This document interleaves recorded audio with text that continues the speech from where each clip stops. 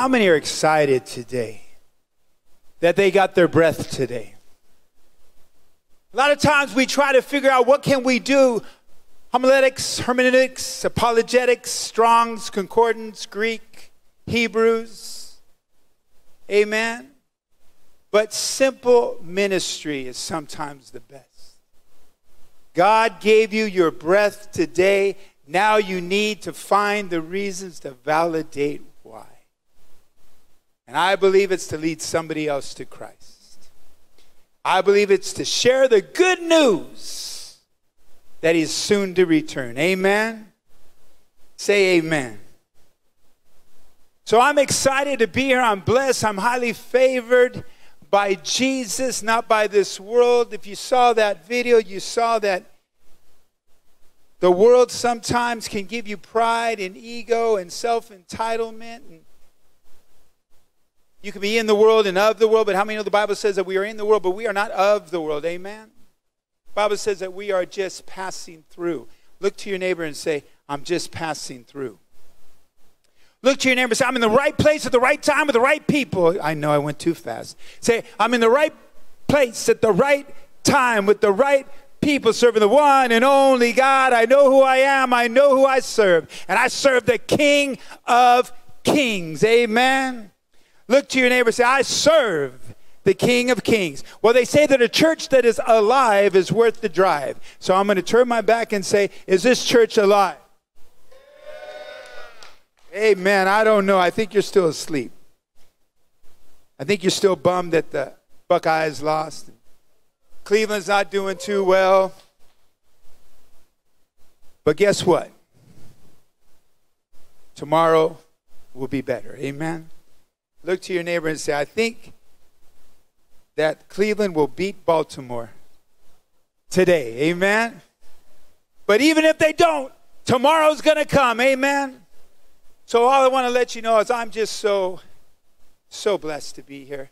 I'm no more anointed, favored, gifted, or blessed than anybody here, but I just make myself available. Sanctuaries, the penitentiaries, recovery homes, juvenile halls, detention camps, sober living homes, halfway houses. As a matter of fact, we had an amazing event here. Just last Friday, we had a celebrate recovery, but we had Thanksgiving dinner. Come on, somebody. And we also had communion. As a matter of fact, if you're from Celebrate Recovery, just stand up real quick and shout Jesus as loud as you can. Amen. And so many testimonies. You know what they told me when I first came out here? There's no sinners in Westlake. I said, I know you're wrong because when I look in the mirror, I see one saved by his grace. Amen. But uh, they became my family and honored guests, and, and this church is full of love. And can you feel it? The church is moving, revival is happening, people are coming, new people are coming. Because you know what? There's no perfect church because every time there's a church, there's people in it. We're not perfect, but we're on our way. Say, we're on our way. So, real quick, there was a, a testimony I wanted to share with a fighter that, how many know that fighters fight, train all day to fight all night? And a lot of times there's pride, there's ego, there's self entitlement, but a lot of times there's a love of just competition and wanting to defeat somebody. And uh, it's prehistoric, it's been around forever. It's been around forever. And this one gentleman I fought named Cheyenne, and um, it was a brutal fight. I think it was one of the fights of, of the year. And uh, he ended up fighting the real fight in life because he died of Lou Gehrig's disease. But when I was uh, nominated into the Bare Knuckles Underground um, Bodyguard Hall of Fame in Burbank at the Martial Arts Museum, I said, I really don't want any honors because you know what? I don't fight that fight anymore. I fight the fight against principalities and strongholds and spiritual high places, spiritual warfare. Because what's on the line? People's souls. So why am I breathing? To lead souls into God's kingdom, to reclaim the territory from the enemy and give it back to the King of Kings. But I just remember that his mother was so broken, she said to me, you know, Dragon, that was my name back then. She said, My son really wanted that belt.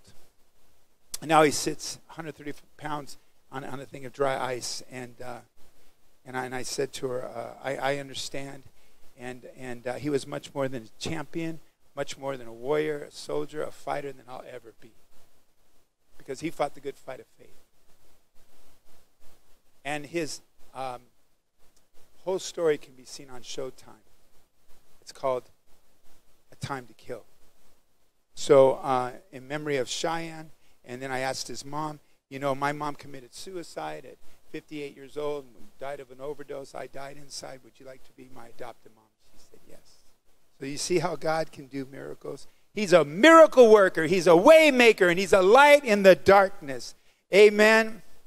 Say amen. But my life was incomplete. See, how many know that we try things out and we just don't come all the way to a success to where we feel that we made it in life? How many know that many are called but few are chosen? If you're chosen, raise your hand.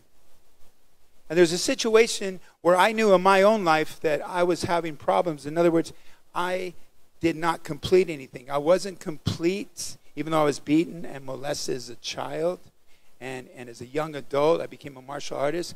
And I went into the cage as a cage fighter, but I was never complete. I was never a world champion. I was never undisputed, undefeated world champion. It's okay, Ed.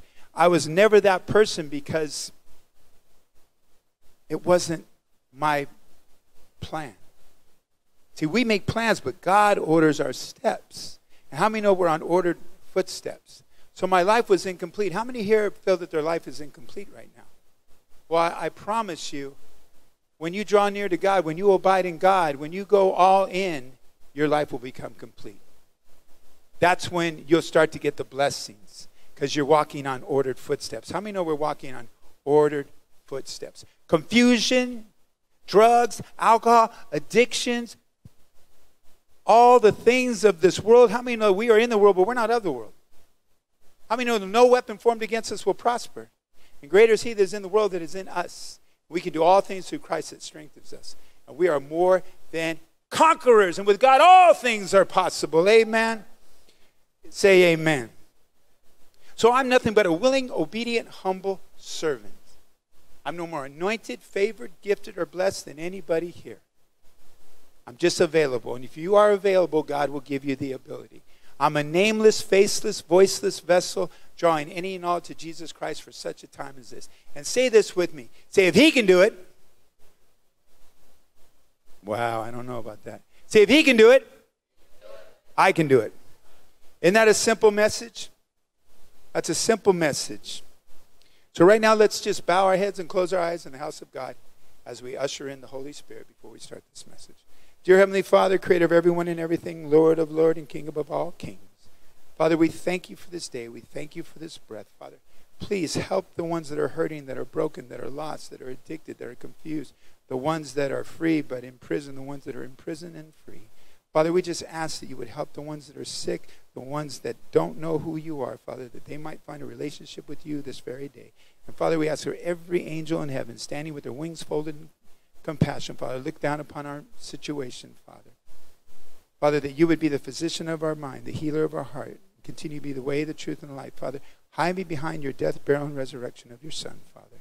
Let these words be anointed by you, Father. Let me get out of the way and let you say what you came to say.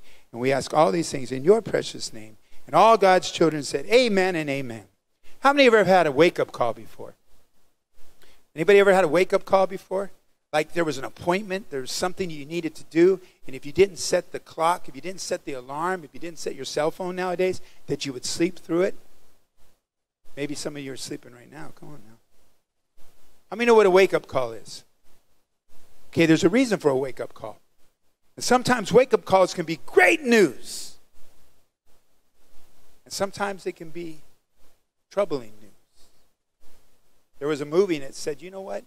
Get yourself a nice suit. Get yourself a nice outfit because you're going to be going to a lot of funerals. How many know that we've been going to a lot of funerals? But I have a message for the enemy, and that is you're not welcome here anymore. See, you have no power, you have no authority. The keys have been taken, the battle's been won, and your time is short. Because we've gone to too many funerals, amen? And we've lost too many people, amen? But don't we believe there's a place, no more pain, no more sorrow, no more tears? All old things have passed away, everything is new again. Don't we believe that no eye can see, no one can imagine, nor it's entered the hearts of men, women, or children what God has prepared for those that love Him? So it's a simple message. And that is love God with all of your mind, all of your heart, all of your soul, all of your strength. Love your neighbor as you love yourself. In other words, love your neighbor, love your enemy.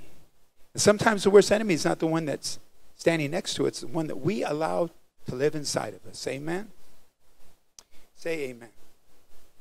So here's the definition of a wake up call something like a wake up call from a hotel employee to a guest that serves to wake a sleeper. How many know sometimes we sleep through life? Sometimes we sleep through our calling, what we're anointed, what we're favored, what we're gifted, what we're blessed, what we're chosen to do, and we're just sleeping through it because we really don't believe what God is saying, because we don't have a real relationship with God in the intimacy and the privacy of our own humanity. We can't hear His voice. How many know that the most important thing to do is to hear the voice of God? Because we make plans, but He orders our steps. Amen? So, it says that it's something that serves to alert a person of danger or in need. Danger or in need. Now, you might ask yourselves, why do I do what I do? Dean, if you could be so kind as to show a picture up here real quick. And I want to show you why I do what I do. See, as you're looking at this is my family, okay? And why I do what I do is not to reach the nations, not to reach all across the world because I can't save anyone. Only Jesus can. And I can't help the world, but I can help the world around me. Amen. And I remember there was a time when I was 135 pounds and talked, talked, talked like this after 20 years of crack cocaine, crystal meth, and alcohol. And that's after doing 35 movies. That's after being one of the pioneers of MMA fighting. That's after all the worldly acclaims and attributes that the world could give you. And I was miserable because I promise you, I'm standing here right now, that this world cannot bring you a peace that surpasses all understanding. We all have a, a hole in our heart, and we need to shape it with the love of Jesus. Amen? But I just remember that um, I, was, I was like, the devil was saying, kill yourself and do it quickly. And I was ready to. But there was another voice that said, Son, you can die on the floor, you can walk out the door can die on the floor, you can walk out the door. I said, Well, then let me just die on the floor then. I'm okay with that. He said, Fine. But all the generational curses murder, molestation, child abuse, drug addiction, alcoholism, witchcraft will have the legal right to continue to exist within your family. I don't know, Dean, if they can keep moving through, or there you go. That's uh, my uh, grandson, CJ, and that's my fiance, Victoria. And that's Everly, little Everly. Isn't she beautiful? And that's my godson, Nene. And that's that is Ileana. so I don't do it for any other reason, but I do it for my family. So you can go to all the places that God sends you to, but if you're not taking care of your own family, you're missing what you've been chosen to do. Amen. So that's why I do what I do, is because when I heard that voice, I just wanted to make sure that everybody else heard that same voice because I was like, Lord, I can't do that. I can't allow those generational curses to continue to go into my family. So now I stand here today, 12 years of sobriety and 11 years of ministry, with a simple message if I can do it, you can do it. Amen? Look to your neighbor say, if he can do it, I can do it. So I remember one time I was here and the Lord told me, He said, Son, I'm preparing the land, I'm setting the table, and I'm going to honor the effort. Preparing the land, setting the table, and honoring the effort. And I was preaching all over the place. And how many have ever been mentally, physically, and spiritually sick before? And I got mentally, physically, and spiritually sick. And I was at the Cambria Hotel, and, and I was just feeling like my body was shutting down. And I went to the Women's Reintegration Center and I preached a message, and they came up to me and said, Where are you from? I said, You mean besides my mom? No, see, you've been reading our mail. Everything that we've been struggling with, everything we've been fighting with, everything that we've been asking God about, it was delivered in that message. See, because God will write his message on your heart. Amen? If you have that intimacy with him, he'll write the message on your heart. And I just wanted to share something with you about the intimacy with God. See, I want to have that faith. How many want to have that faith that you would just run into a coliseum? Just run laughing and dancing and singing and worshiping. Where does that kind of faith come from?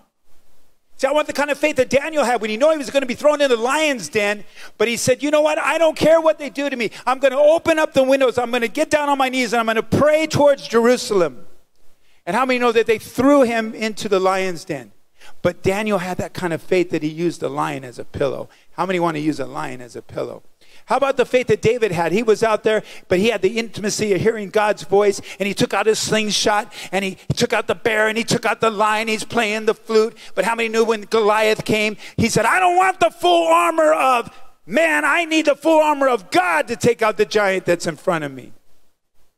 See, he was fighting the good fight, staying the course, running to win the eternal prize, gathering the fruits of the Spirit. But he knew the intimacy of God's voice. Sometimes when we have a giant in front of us, we have to bring the David out of us. Amen? See, that's kind of faith that I want. But I don't know if I have that kind of faith. Because when it was time for me to sacrifice, when it was time for me to be obedient, when it was time for me to listen, I was on that wide road that leads to destruction. How many know that we need to stay on that narrow, straight road that leads to heaven? How many want to finish strong and hear well done? Come on, say amen. Say, I want to finish strong and I want to hear, well done. Now, there's a man in the Bible in the Old Testament, Genesis 22, it's through 1 through 14. It talks about how he is the father of faith.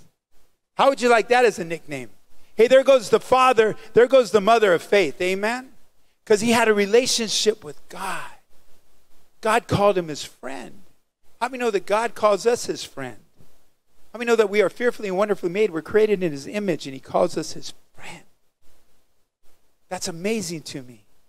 That the creators of heaven and earth, the one that sent his son to die for our sins, that defeated sin and death, calls us his friend, that we're created in his image. Amen. So let me just paint this picture. We're in the Old Testament. Okay, some of the things that have happened is the fall of Adam and Eve, the flood and Noah, and the Tower of Babel. All this is going on, but God is raising up a father of faith that has a relationship with him. His name is Abraham. And Abraham was a good shepherd. And they had so much intimacy how many want to hear from God, even today, even right now as we're sitting in our seat? A promise, a covenant, something that God says, I chose you for this. See, many are called, but few are chosen. You are chosen to do mighty things in your life. You are chosen to preach the good news of the gospel. You are chosen to raise your family strong, to be a witness, to be a light to your community, to your family, and to your enemy. You are chosen.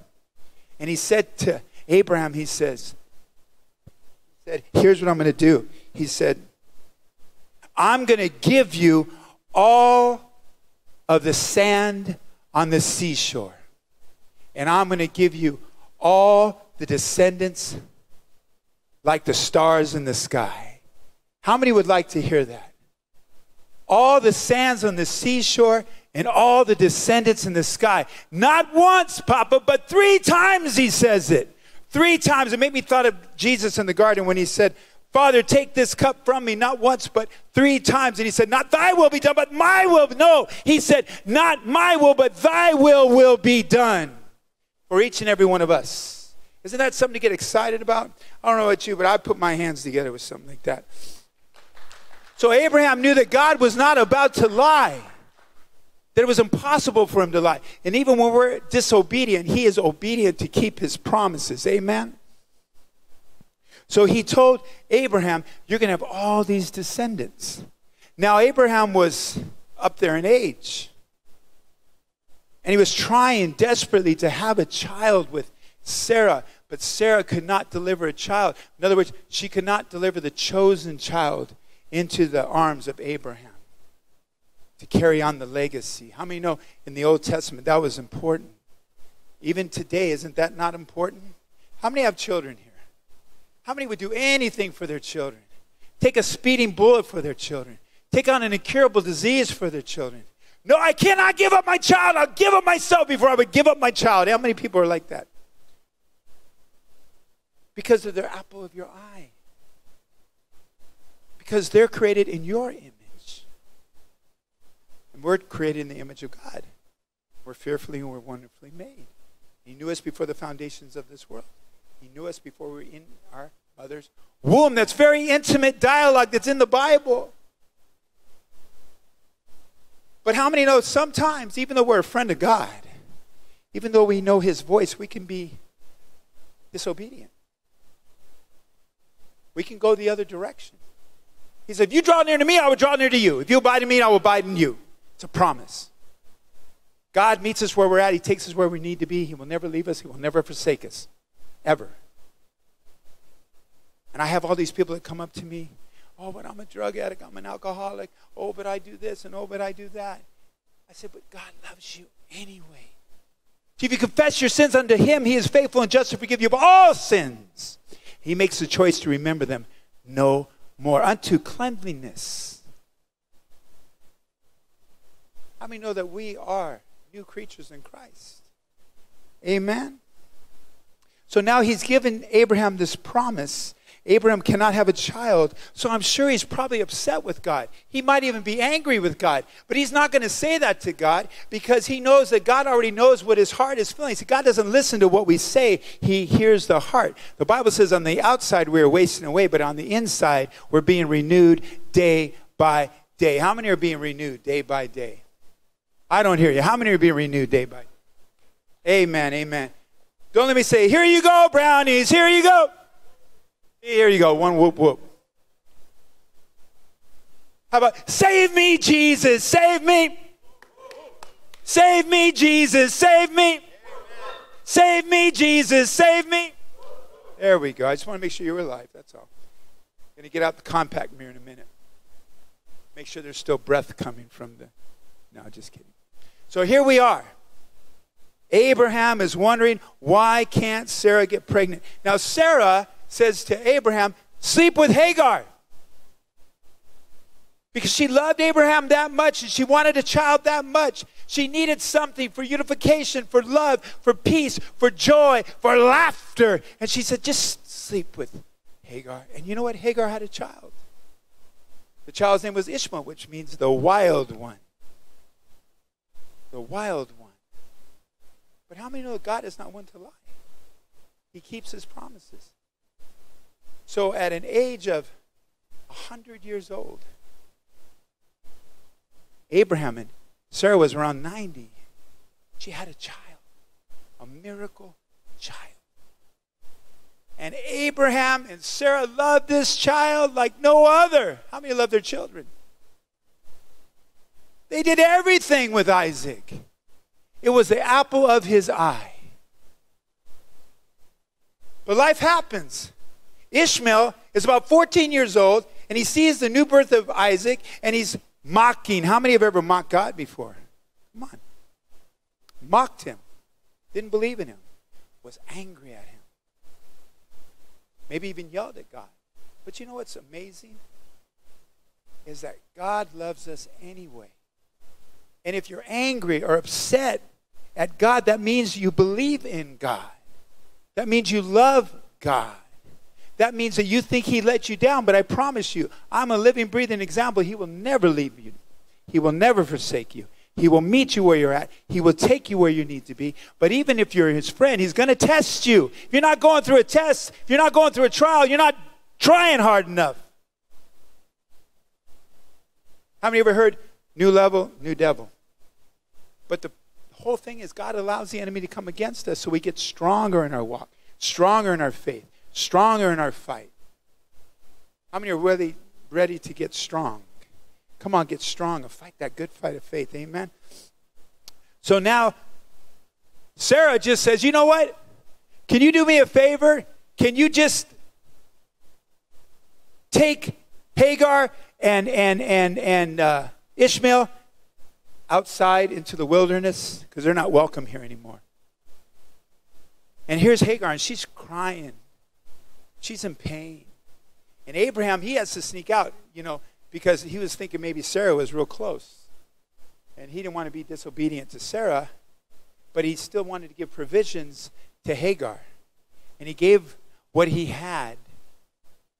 But Hagar was crying because she thought, we're going to perish. We're not going to make it. We're not going to have enough water. We're not going to have enough food. And the angel of the Lord came and just appeared and said, Do not cry because God has seen your tears and he will provide for you. And he will be a father of many nations. Amen. So now Abraham's thinking, I did a good deed. Now, what I'm going to do is I'm going to get a good night's sleep. How many think that sometimes we're just going to get a good night's sleep and then all of a sudden we get a call? All of a sudden somebody is sick, somebody's in the hospital, somebody, somebody just passed away, somebody has a, an incurable disease. How many know that when we get that call, we can't just rely on ourselves. We can't lean on our own understanding. The Bible says, do not lean on your own understanding, but to acknowledge Him in all of your ways, and He will direct your path. How many know that we just need to get down on our knees and say, Lord, I can't do this without you. I need you to go before me. I need you to speak through me. I need you to be the light where I stand, the lamp of the word unto my feet. I need you to make every crooked path straight. How many have ever prayed that prayer before? I can't do this without you. But that's not the wake up call he got. Abraham. Abraham. Abraham. Take your son, your only son, the one whom you love, and offer him up as a sacrifice. How many, honestly, would be willing to answer that call? That's where the rubber hit the road. That was 911 critical stat. That's when your faith is going to be tested. Faith over fear. I don't know if I have that kind of faith. I don't know if I could wake up and just say, okay, God, let me just take my firstborn and let me just sacrifice him in the morning. But Abraham was obedient. And he woke up and he woke up his son and he took two servants and they went and they walked. And I know that had to be a long, long, hard, cold, sad walk. And I imagine that Abraham was like, Why, God, you told me I was going to have all the stars in the sky and the sea and all the sand on the seashore. And you want me to give up my firstborn. Don't you know that brought joy, that brought laughter, that brought happiness, that brought unity, that brought peace? We called him Isaac, which means laughter. Right when they got to the foot of Mount Moriah, Abraham looked to his servants and he said, You go back, and we will be back later. How's that kind of? How many want that kind of faith? I know I'm going through it. I don't see a light at the end of the tunnel. I don't think I can make it through the storm. I don't think I can live another day. I think my prayers are hitting the roof. They're not being answered. My prayers are being denied. No, they're not. They're being delayed because God will give you what you need, not what you want. And all of a sudden, he looks to Isaac, and Isaac, I can't even imagine what he was thinking, but Isaac knew that his father loved God, God loved his father, and Isaac loved his father, and Isaac loved God. And Isaac said, Papa, I see the animal, I see the knife, I see the rope, I see the wood, but where's the sacrifice?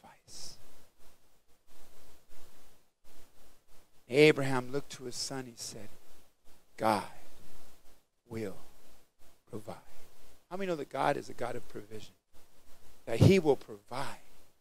Even in our darkest, most loneliest, most, most troubling times, that He sees our tears, that He hears our prayers, and no matter what, He's always there.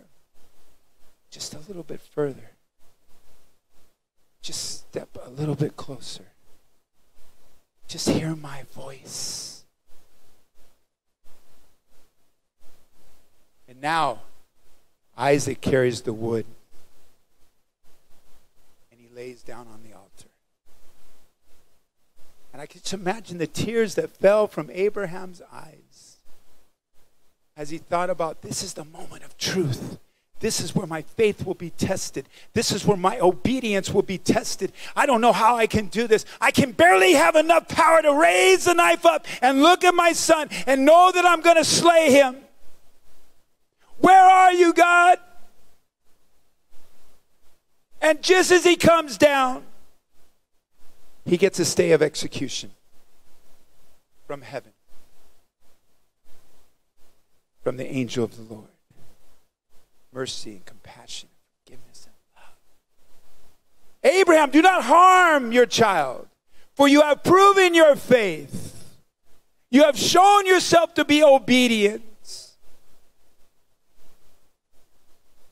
There is a ram caught in the thicket by the thorns.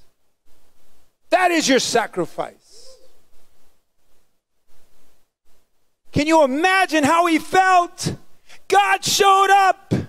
God was obedient. God kept his truth. God is not one to lie. God said, No, you cannot do that. Not on my watch. You proved yourself. You came far enough. I heard your prayers. I saw your tears. You are with me. You are my child. I knew you from the foundations of this world. But I needed to see if you were going to be obedient. And I needed the world to see how much you love me. Now, you think about this. I want to show you some parallels between what Jesus was about to do.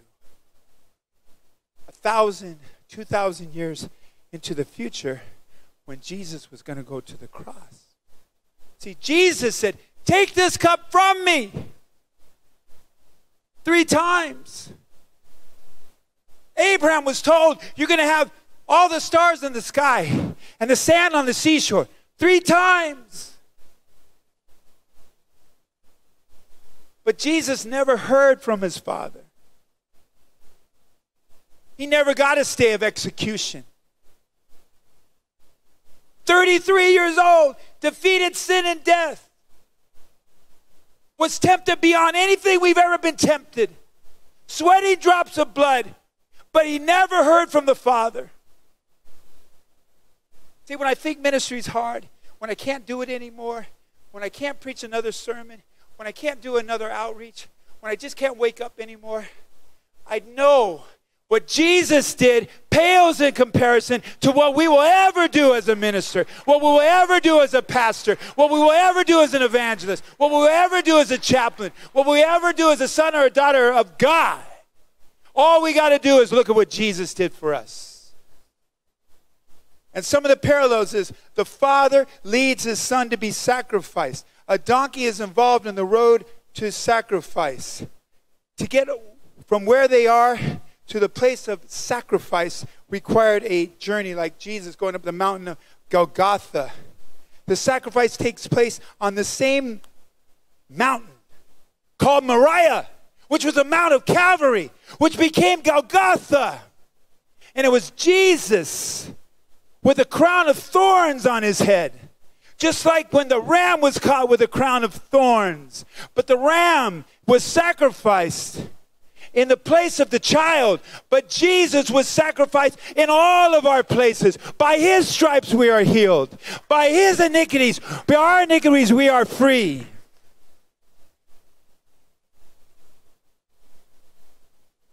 Now, I want you to all stand where you're at.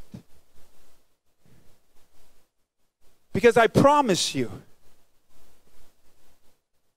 God has a purpose and a plan for each and every one of you.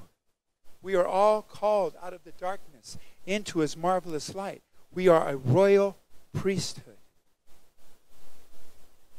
And you have to have that intimacy. And you have to have that faith. And you have to have that obedience. Now, Jesus is on the cross. One thief to the left is mocking him. If you're truly the Son of Man, then get off that cross and save yourself and save me too. The worship team can come up. The other thief was, No, quit mocking him. He's a perfect, spotless, blameless lamb. that taketh away the sins of the world. He's Jehovah Nissi, Jehovah Rapha, Jehovah Jireh. He's the bright and morning star.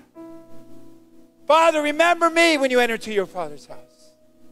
Say that with me. Father, remember me when you enter to your Father's house. He said, Today you will be with me in my Father's house in paradise.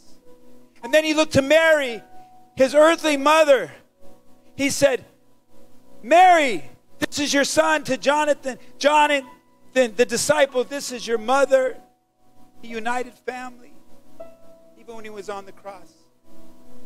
Then the centurions came back to see who had expired and who was still alive because in those days, even though they had nails through their wrists and through their, their ankles and were fixating on their own blood, when they came back, they wanted to see if somebody was still breathing so they could break their legs and then they would hang. And when they came back, the thief on the left and the thief on the right were still alive, but Jesus, he had already expired. And they laughed at him. Look at the Son of God, God's Word in flesh, King of the Jews. He's dead and these thieves are still alive. How clueless can we be? And then they broke their legs. Now, there's a reason why they didn't break the legs of Jesus. It's because Isaiah had said, not one bone would be broken of the perfect, spotless, blameless lamb fulfilling prophecy. The Bible is real from Genesis to Revelation. We read, we receive, we believe, and then we lead. Amen. They take the spear and they put it through the side of Jesus, his dead body. And they pull it out, and there's blood and there's water. Water representing the new birth, and blood representing the transformative, powerful blood that one drop can heal this world. And one day we'll see him coming in a cloud of glory with a billion and billion of angels. And they said, Well done, my good and faithful servant. Enter to the gates of joy, rest, and peace. But my question to you is before we go into our prayer?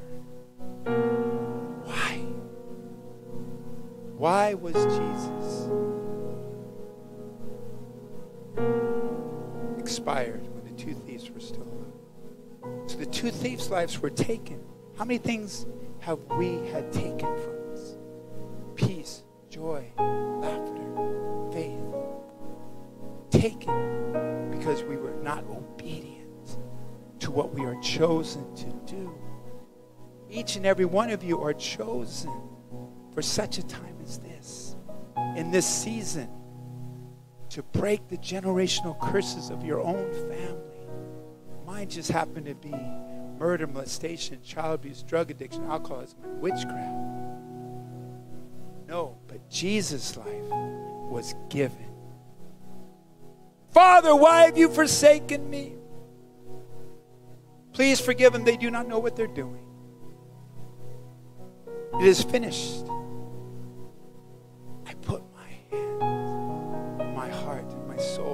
Spirit into your hands, Father, even though I never heard from you. What kind of faith is that? That's the kind of faith I want. Amen. How many want that kind of faith? That kind of obedience. Let's get on fire, church, because it's time to ignite the spark of revival. It doesn't matter where you are, it matters who you're with. Let's have the faith of Abraham. Let's be a father or mother of our own nation. Every eye closed every head repeat this simple prayer with me. If you have never given your life to Christ before, the Bible says, if you do not confess me in front of man, I will not confess you in front of the Father. So it's serious. Maybe we did it, but we are holding on to unforgiveness. Maybe we were doing it because of peer pressure. But for whatever reason, if that's you, with every eye closed and every head bowed, this is your opportunity to come forward. Just raise your hand so I can see it. Every eye closed and every I see that hand. Every eye closed, I see that hand. I see that hand. Amen. Amen. Remember, you're not being arrested, you're being rescued. Amen. And if you just want to rededicate your life, just want to come forward and say, you know what, I know I'm a sinner. I promise you, there's prayer warriors that will be standing up here right by the worship team. They'll be more than happy to pray for you. And let's just all say this simple prayer and say it with unforgiveness. In other words, forgive everyone for everything, and more importantly, forgive yourself of everything. And say this simple prayer with me Heavenly Father, I know that I'm a sinner, and I am in desperate need of the risen Savior. And with the light that I've been given and the truth that I know, I'm ready to confess with my mouth and believe in my heart that Jesus is real. That Jesus rose from the grave and he's coming back soon to bring me home. In your wonderful, precious, and match this name, in the name of the only begotten Son and the risen Savior, Jesus Christ, and the Holy Spirit. Amen. Amen. Let's give a big hand to Pastor David Nico Hill. What a fiery message. He just really unloaded a great word. And I just wanted to give you a thought because we're going to, you know, uh, dismiss here in just a minute. You know, Jesus didn't have to have his legs broken because he already bled out. That's really what happened. He bled out. They knew he was dead, and of course, they, they speared him just to make sure And of course, the water came out as well as the blood, as David said. Do you think about that? Because of the scourging, the 39 lashes that he took with the whip that was made by the Romans to be able to create maximum damage and torture. They'd use this to try to get confessions out of people, be able to get information out of people. So, bones and, and metal and teeth and all sorts of sharp, jagged objects were used at the cat of nine tails. And when Jesus was whipped that 39 times, he was so weak he couldn't carry his own cross. That was only part of the cross, it was a cross beam. He couldn't carry it. By the time he got to the cross, he only lasted for a few hours. That's it. Because he bled out for you and he bled out for me. I don't know about you, but that, that really touched me here today and a lot of other things. So today, uh, I want to just encourage you if you or someone you know is dealing with addictions in your life drugs, alcohol, sex, I don't know. I mean, gambling, there's all sorts of different addictions. If you're dealing with addictions, if you're dealing with hurts, hangups, habits in your life, be here on Friday night. Pastor David is here each Friday night, 7 o'clock to, they're done by 9, sometimes before 9 o'clock great two hours. I come once a month just to be able to keep myself fresh and be able to minister to people because I've, I've come out of that life and I understand what it's like to be addicted. And I want to encourage you to get here yourself if that's uh, situations that you're facing or to bring somebody else, you know, send them because it's a tremendous ministry. Let's give him a big hand for all that he's doing to help 50 or so people I mean, that's a big group here 50 or so people every Friday night, 7 o'clock. Don't forget to get your tickets if you got kids, grandkids, or rent kids, you know, for one day. On December the 18th, get your tickets today uh, for the breakfast with Santa. God bless you. Have a Jesus filled day.